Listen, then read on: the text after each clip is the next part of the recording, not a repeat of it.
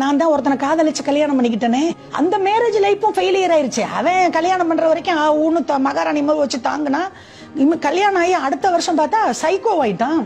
இந்த இங்க எல்லாம் தழும்பு அடிச்சு கிடிச்சு இங்க கை கால் அங்க பாரு. எதுக்கு? ஆ அப்ப குடிச்சிட்டு வந்து அடிக்கிறது சந்தேகம். சகிலா சகிலாட்ட பேசினா தப்பு ஆம்பளைட்ட பேசினாலும் தப்பு பொம்பளைட்ட பேசினாலும் தப்பு சந்தேக பேர் வழி குடிச்சிட்டு வந்து அடிக்க ஆரம்பிச்சிட்டான். அப்பதான் எனக்கு வயித்துல ஒரு ஆம்பளை புள்ள அபாஷன் ஆகி போச்சு. இல்லாட்டி இன்னைக்கு என் புள்ள இருந்திருப்பான் சாப்பாட்டுக்கு வழி இல்ல சாப்பாட்டுக்கு வழி இல்ல வறுமையை தான் சொல்லிட்டு இருக்கேனே தவிர மேரேஜ் இழைப்புல நான் பட்ட கொடுமை கொஞ்சம் நஞ்சம் இல்ல.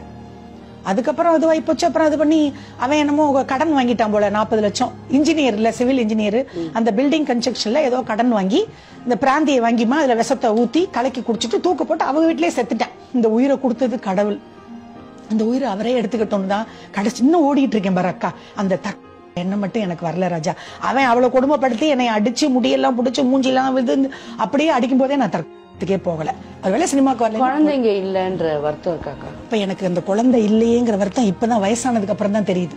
அந்த நேரம் ஒண்ணுமே தெரியல. இப்ப இதை என் புள்ள இருந்திருதுன்னா ஏதோ ஒரு வேலைக்கு போயிட்டு வந்து ஏதாவது குழந்தை கொடுத்துருப்பாங்க உங்களுக்கு பிறந்த பிறக்கிற பசங்க பிறந்து இருந்தால் அந்த பசங்க உங்களை வச்சு காப்பாத்துவாங்கன்னு எந்த நம்பிக்கையில சொல்றீங்க? இப்ப நான் நிறைய என்ன- பாக்குறேன். என் சொந்த பந்தத்துல கூட பாக்குறேன்.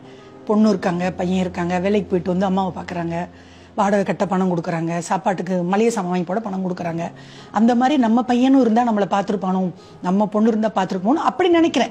அந்த நம்பிக்கை. ஆனா வந்து எல்லா பொண்ணும் எல்லா பையனும் அப்பா அம்மாவை காப்பாத்துறது இல்லை அது வந்து சரியான கேள்வி. இப்ப சகிலா நீ கேட்டது. எல்லா அப்பா அம்மாவையும் எல்லா பொண்ணுங்களும் வந்து பையனும் காப்பாத்துறது இல்ல ஒரு சில குடும்பத்துல நான் பாக்குறேன்.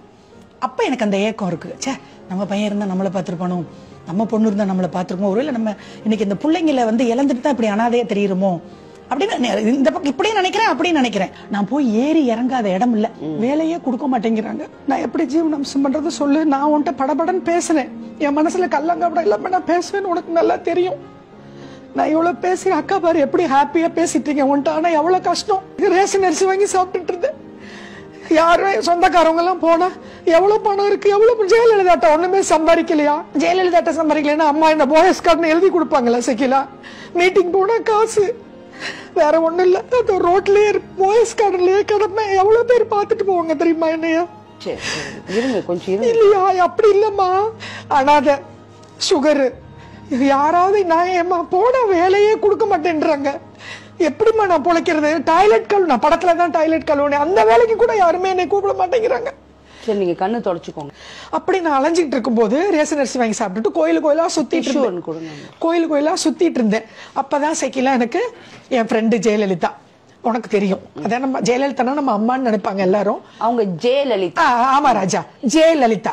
அவ அவ கூட நான் நிறைய நீ எப்படி எனக்கு சின்னதுல நான் உன்னோட நிறைய படம் நடிச்சனோ நீ அக்கா அக்கா நான் உன்னை நீ மறந்துட்டியோ என்னமோ அது எனக்கு தெரியாது. ஜல்லிக்கட்டு காலையில உன்னை உன் தங்கச்சி நீ உட்கார்ந்திருப்பீங்க. பிரபு அண்ணன் ஹீரோன்னு நினைக்கிறேன். நீ தான் அதுல வந்து காமெடி பண்ணிட்டு இருப்ப. இப்ப செட்ல வாங்கக்கா வாங்கக்கான்னு உட்கார். ஏவிஎம் ஸ்டுடியோன்னு நினைக்கிறேன். இல்லடா சக்கிலா. அப்படி இருந்துட்டு இருந்தேன் அக்கா. நான் ஹைதராபாத் போறதான் பிளான் பண்ணியிருந்தேன். ஆனா அதுக்குள்ள ராஜா எனக்கு ஜெய லலிதாவுக்கு எப்படியோ தெரிஞ்சிருச்சு. யார் சொன்னாங்களோ என்னமோ. ஏய் பாக்கி என்ன காரைக்குடிக்கு போயிட்டியா? பாக்கின்னா எல்லாரும் அது மாதிரி எனக்கு கால் பண்ணி பாக்கி என்னடி காரைக்குடிக்கு போயிட்டியா? என்னடி உன் பிரச்சனை? என்னடி ஆச்சு? அப்படின்னா நான் வந்து இல்ல இல்ல லலிதா ஏன் உன் நாங்கெல்லாம் இருக்கதெல்லாம் மறந்துட்டியா? நான் போய் கேட்கறதுக்குள்ள எனக்கு ஃப்ரெண்டு லைனில் வந்து ஒரு நம்ம சுமன் டிவின்னு அவங்க வந்து அந்த பையன் ரோஷன் அப்படின்னு அந்த தம்பி நம்பரை கொடுத்து